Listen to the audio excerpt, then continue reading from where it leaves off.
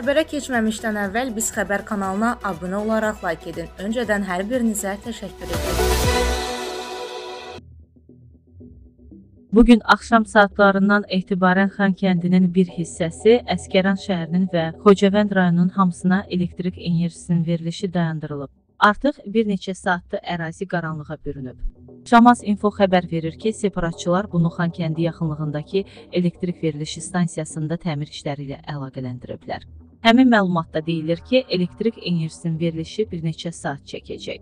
Lakin sonradan məlum olub ki, yalnız Ermənistan tərəfindən çəkilən yüksək gərginlikli elektrik xətti ilə verilən elektrik enerjisindən istifadə mümkün olacaq ki, bu da yalnız zəruri olan obyektlər üçün sərf ediləcək. Eyni zamanda həmin enerji ilə yalnız Xankəndinin kiçik bir qismini işıqlandırmaq mümkündür.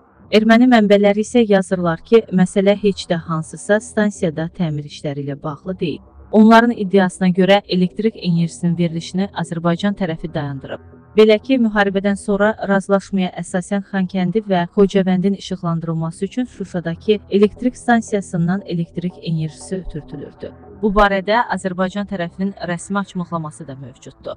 Həmin açıqlamada deyilirdi ki, rəsmi Bakı razılaşmaya əsasən Xankəndi və Xocavəndi elektrik enerjisi ilə təchiz edəcək. Məlumatlara görə Şuşa yarımstansiyasından ötürülən elektrik enerjisinin dayandırılmasına səbəb dünən baş vermiş terror hadisəsidir. Belə ki, Norayr Mirzoyan adlı erməninin şəhərin yaxınlığında ordumuzun postuna əl qumbarası ataraq 3 hərbçimizin yaralanmasına səbəb olub.